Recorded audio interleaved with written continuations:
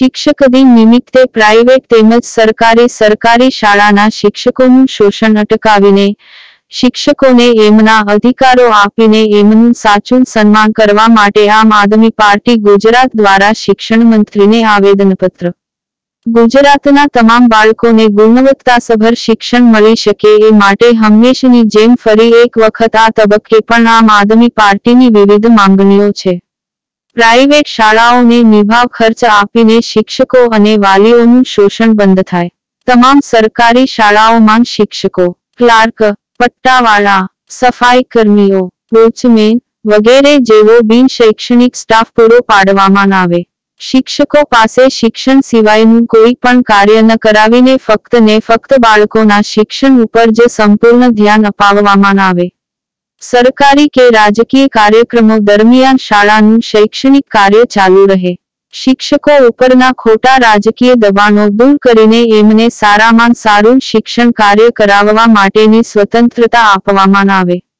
આમ આદમી પાર્ટીના વરિષ્ઠ નેતા તેમજ શિક્ષણ સમિતિના સદસ્ય રાકેશ હિરપરાની આગેવાનીમાં શિક્ષણ મંત્રીશ્રીને આવેદનપત્ર આપ્યું.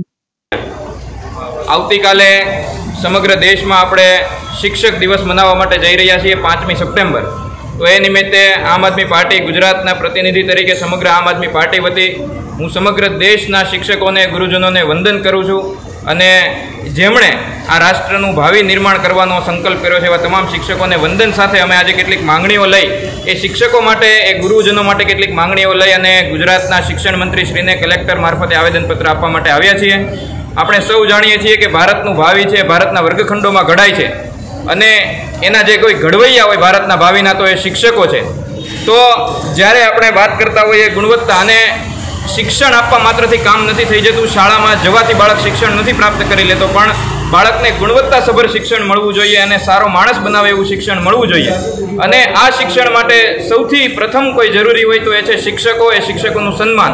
એ શિક્ષક જો પોતાની મોકળાશથી, પોતાની સ્વતંત્રતાથી, પોતાની રચનાત્મક પ્રવૃત્તિઓથી ભણાવતો હશે, તો બાળકને સારામાં સારું શિક્ષણ આપી શકશે.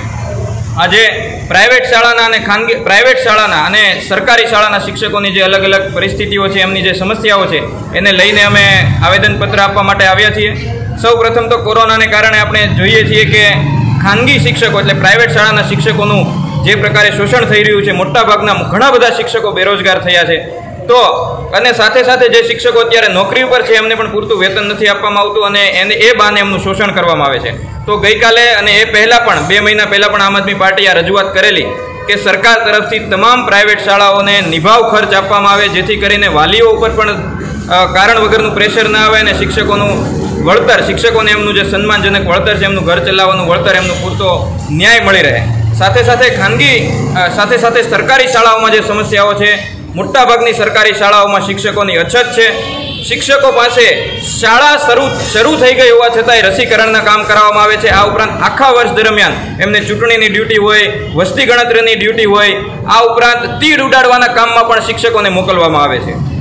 સરકારી શાળાઓ પાસે બિન શૈક્ષણિક સ્ટાફ બિલકુલ નથી અથવા નહીવત છે. એટલે કે પટ્ટાવાળાઓ નથી, વોચમેન નથી ટાઈપિંગ કરી શકે અથવા નાનું મોટું કામ કરી શકે એડમિનિસ્ટ્રેશન એવા ક્લાર્ક નથી. તો આ તમામ કાર્યો એક તો શિક્ષકોની અછત છે અને અને એ અછતની સાથે સાથે બિન શૈક્ષણિક સ્ટાફ નહીં હોવાને કારણે શિક્ષકો અને આચાર્યોએ કરવા પડે છે. તો આ પરિસ્થિતિમાં ગુણવત્તાસભર શિક્ષણની વાત આપણે કેવી રીતે કરી શકીશું? કેવી રીતે આ તમામ શિક્ષકો છે બાળકો ઉપર સો ટકા પૂરેપૂરું ધ્યાન આપી શકશે?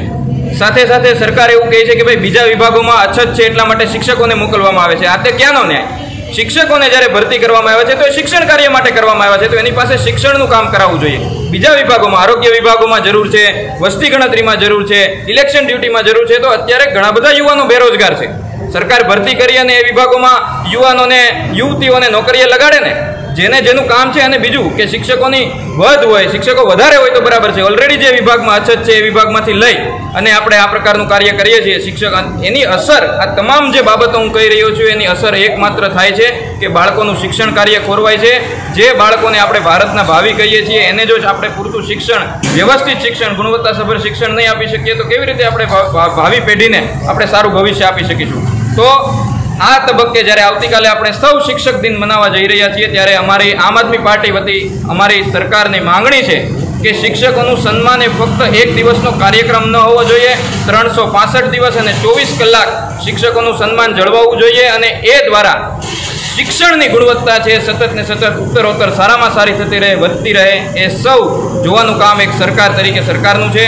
એ ઉપર સરકાર ધ્યાન આપે, એના ઉપર કામ કરે એવી વિનંતી સાથે અમે શિક્ષણ મંત્રીશ્રીને કલેક્ટર મારફતે આવેદનપત્ર આપવા માટે આવી